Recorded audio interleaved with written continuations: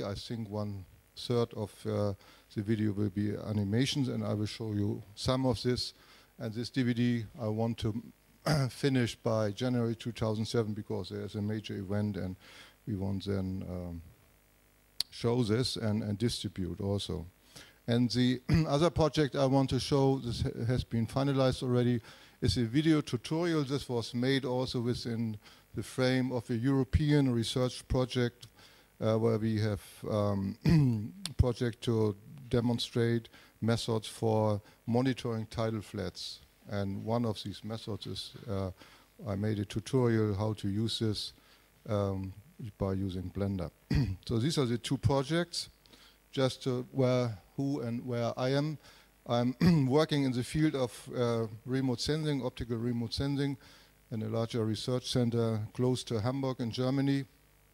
And in my group, we are doing marine optics, developing optical instruments, algorithms to process satellite data. And in the past, the main project we are working on was the MERIS, an instrument which is on the environmental satellite ENVISAT, which is an ESA, the biggest ESA satellite ever in space. And we have developed algorithms for these special instruments and uh, did also a lot of optical work. The video making and 3D animation, it's a hobby, so other do painting or playing music, and I use my free time by playing with Blender and, and then try to utilize this uh, also in my work, but it's not the, the, the prime work, of course. So the Science of Ocean Color project, it's in the IOCCG, which is the International uh, Coordination Group for these satellite programs, and partners of these are, for instance, NASA, ESA, and other space organizations uh, worldwide. And we meet uh, two times a year in working groups and also coordinating groups. And what we need is uh, some tutorials and also promotional material to show others how all these techniques work and what one can do with this in, in applications. And this is the, the basic uh, reason for, for preparing this DVD. So the content will be um, animations uh, of process, optical processes, animations of instruments, how they work, and I will show some, some examples. But as I mentioned already, most of this will be also real videos, and I have put this all together already, but need still some, some of the animations, or I have to improve some of the animations. So this is this, this project with the MERIS on the ENVISAT. Uh, this is an optical instrument, an imaging spectrometer, which measures the ocean surface in different um, wave bands, and from these wave bands, then we can derive properties of the ocean. You see here some images which will then also appear when this is the north coast of Norway, and you see here plankton blooms uh, which have uh, this so-called um, uh, which have a, has a calcite shell, so they make the water really bright and, and have a special optical properties which one can measure. This is just one example of the global distribution of phytoplankton in the ocean. Here as chlorophyll, milligrams per cubic meter expressed. This can be measured from these satellites and we get, if there are no clouds, we get a global coverage every three days from these satellites. So to study also the dynamics. Just this as a background. I try now to show you just the introduction, which is real video. Let's see if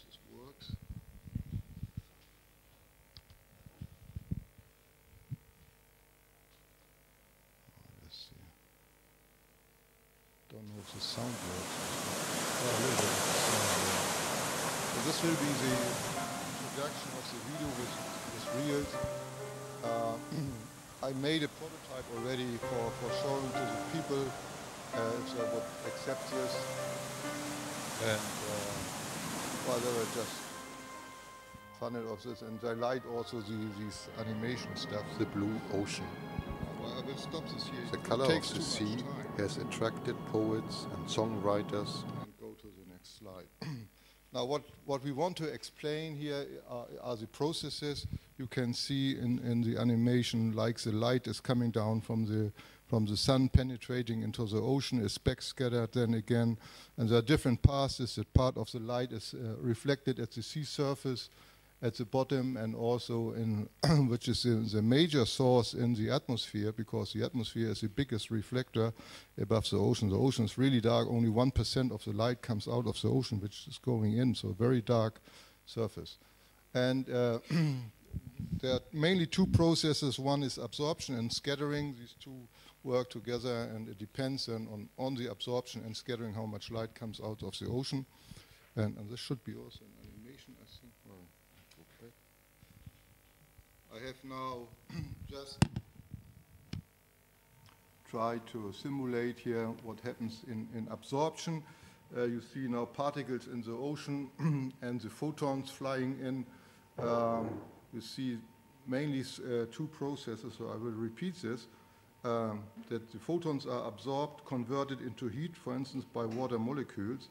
And this was these, uh, you see here, now this is a big, big particle. you see now here, this, this one here was just red, should demonstrate its heating.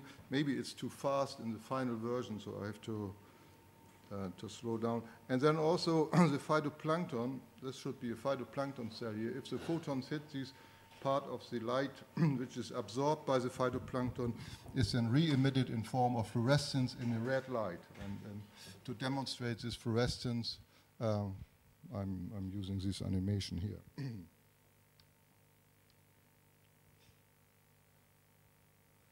okay. The other then is scattering. that means uh, photons are scattered at particles in different directions. You see that the photons are flying, hitting, and all the backscattered photons then are, of course, so these photons we can capture from a satellite again, and, but it's only a very small um, part, part of this.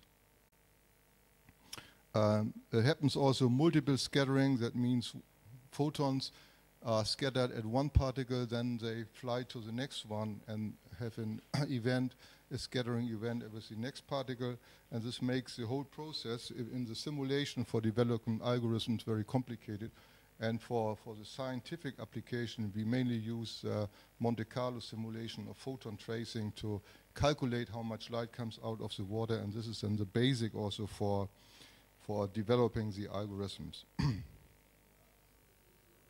Now the, the, the, scattering is not equal. You see here two uh, scattering function. If the particles in the water are very small, like the water molecules itself, then you have a, a, scattering function which is here on this on the upper left panel.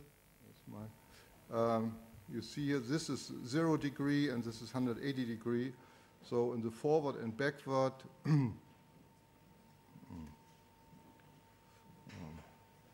um, you have uh, different intensities in the scattering, but symmetrically, symmetrically around the, the uh, sphere. In the other case, if the particles are very large, then most of the of the most of the photons are scattered in the forward direction. I, and, and, I wanted to simulate this with, with uh, um, using Blender. and for this, I wrote a little Python script here to use these um, phase what are called phase functions, which describes these, this scattering in, in uh, all directions, um, which are partly you can express this by mathematically function, partly you, it's based on measurements, and then you can modify just a sphere. you, you, first define a sphere and modify the sphere, the, the vertices, uh, by this little script here, and then you get the, the, the real shape of this function um, which I show here.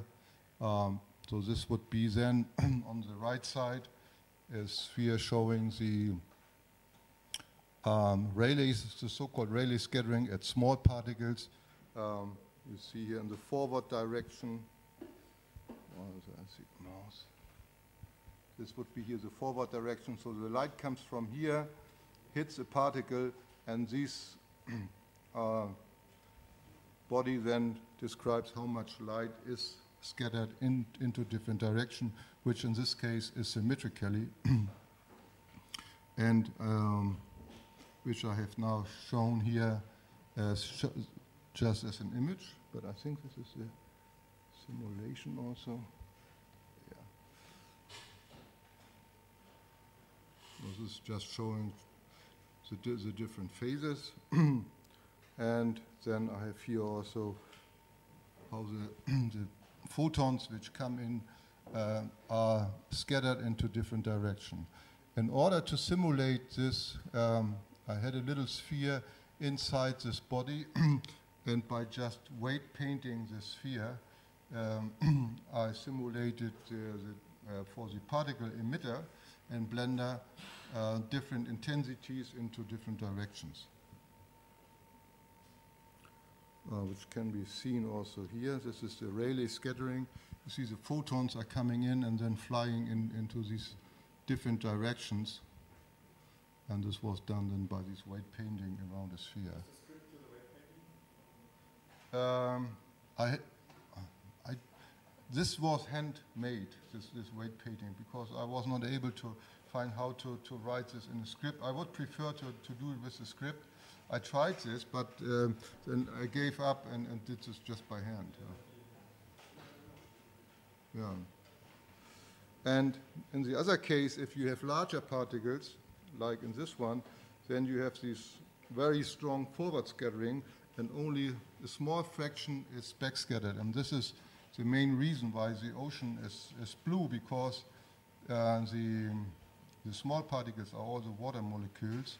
They give the strongest backscattering with, with increase to the blue part, while all the particles, the, the main scattering is in the forward direction, as you will see in this animation here. Now the photons coming now to these larger particles, and only a small fraction is then backscattered, and, and most of the particles, or the, the photons in this case, are scattered in the forward direction. and but also, of course, part of the beam is not scattered; it just flies as without any scattering. Now the other thing I try to do is uh, to demonstrate how light is penetrating in the sea and that the, the, the, optical properties of the sea means of the pure water that most of the red light, the, the, red spectrum, is absorbed in the upper surface. As you know from if you go diving, then the red color disappears the first and, and the blue at the last one. And I try to simulate this with, with this one, just go with the camera these are the photons flying into the sea, and then by this particle emitter, you can control how long the, the lifetime of the particles, that means the length, and this would be then different from, from red to green and blue particles.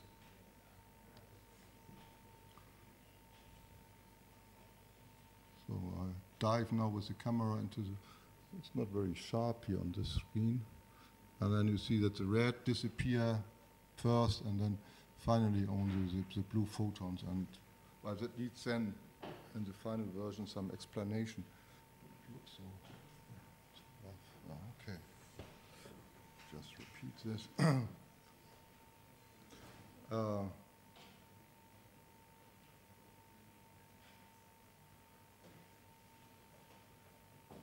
it's not not so good uh, rendered, no? Let's see. Wow. I haven't seen it on the screen so far. well, I try to improve also these water surfaces and the, uh, these um, tutorials by Colin Litster, I, I, think he is also here during this meeting, uh, is very uh, valuable and I made all started already to replace all this animation with the water surface uh, by his suggestions. He made also to to get a better impression of the decreasing size of the waves to the horizon. Uh, I did some modifications for this in order to dive also with a camera and then have an underwater scene as I did it before.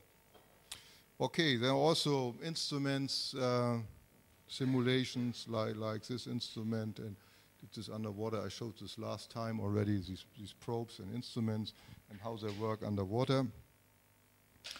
Now to the other uh, project I, I, finished. This was within the so-called HIMOM, Hierarchical Monitoring Project, EU-funded, European-funded in the fifth framework.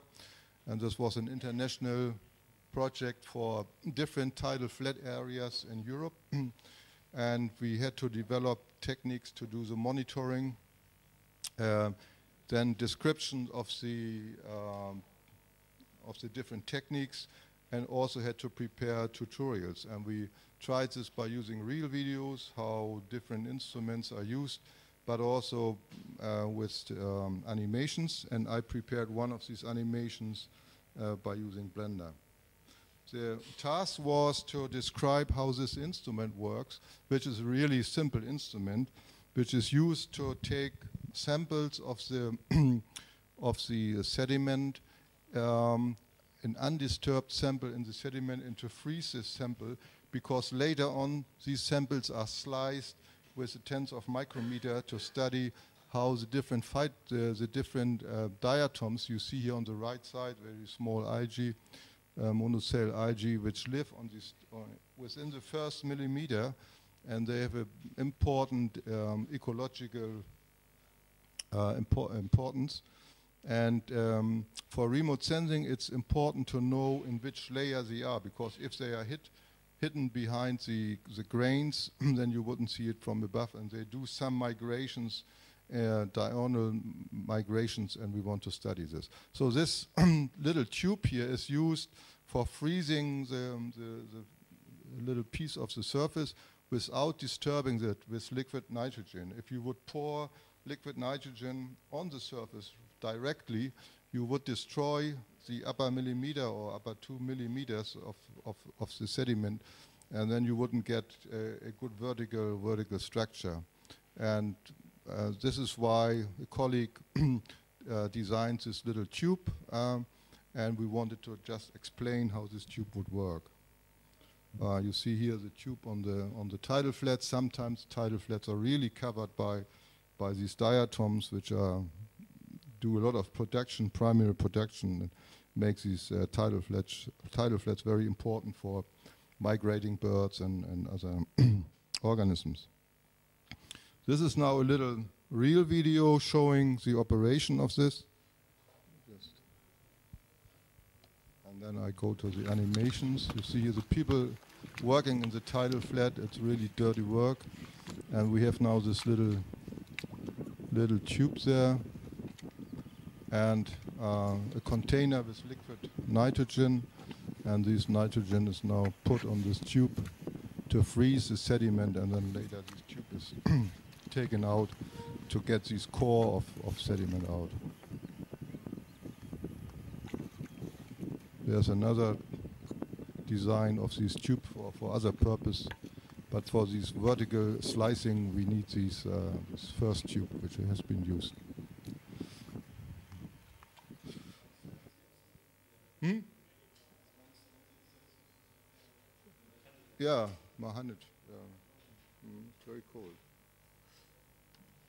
So now this is the the setup. Uh, uh, so I simulated all these different uh, tools in, in Blender, a bottle with the liquid nitrogen, and the tube itself, and also the other tools, which is um, instrument to, to push later on the, the core out of this, and then also an, an environment, as you will see later in the, in the final movie. um, this is now the representation, the first shot then of the cryolander, the tube with these um, gauze or the cotton wool which goes in, liquid nitrogen, plunger, and, and so on. so all modeled with, with Blender. Uh, what was a little bit difficult was to, I don't know if you can see it from here really. No, it looks strange.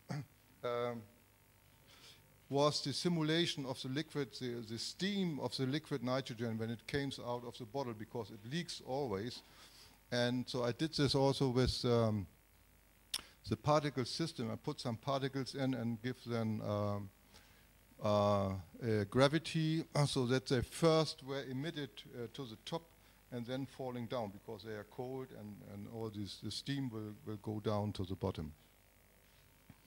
And you see here now the pouring phase and you and all the, the, the nitrogen goes into the um, cryolander and another thing was then I wanted a slice of the of the sediment to show how the sediment core is frozen. Um, so I used a painting of, of a friend. He, he did, does paintings of, of uh, birds and, and how the feet are, uh, birds are fit in, in, in, the, in the tidal flats. So this is a cross section as the organisms are in the, in the tidal flats. and I put this then together, sliced um, all the, the, the, the, um, the cryolander to, to show how the liquid nitrogen goes into the cryolander and how the sediment is frozen. And this was a little bit difficult to, to do this because I had then to prepare this little core here, which should change by the color. And uh, after the freezing process, this little core should be taken out from, from, from the surface. But initially, it should not be distingu distinguishable uh, from, from the sediment itself. uh, you see here now this, the slice through this, and this is the pouring and the freezing process, and this is why these metal becomes blue here to demonstrate its, its uh, freezing. And also you see now here a little bit uh, that this sediment part where the freezing starts from, from top to the bottom here uh, and changes its color a little bit.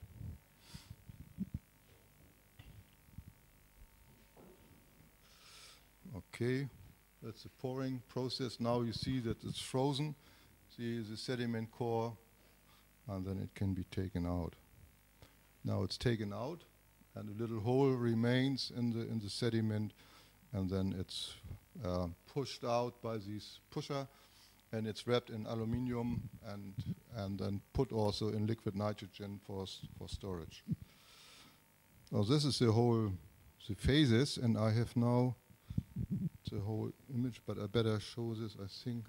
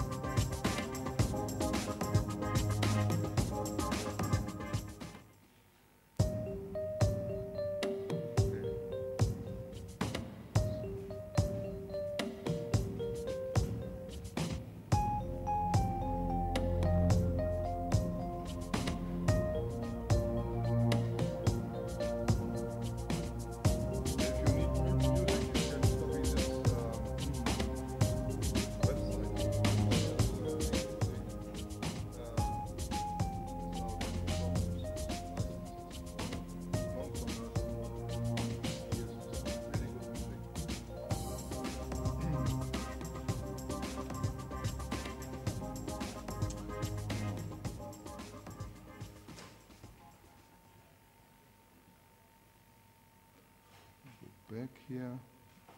Just need my last slide.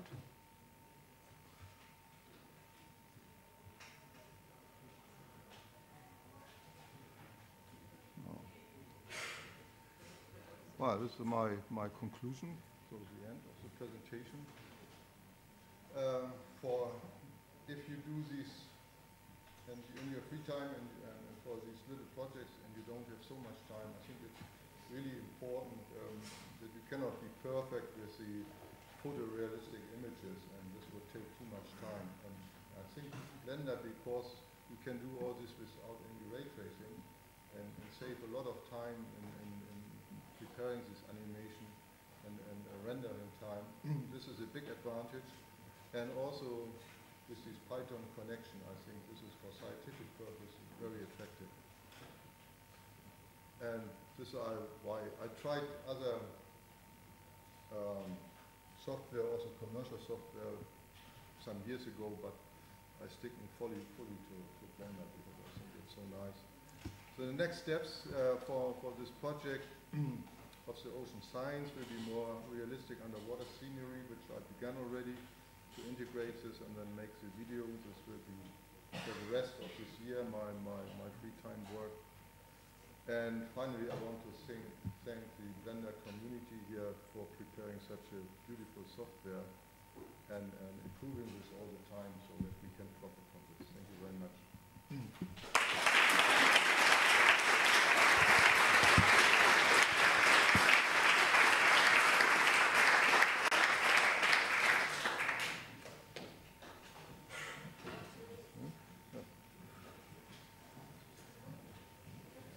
Huh?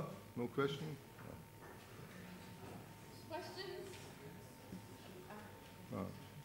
Ah, here. uh, uh,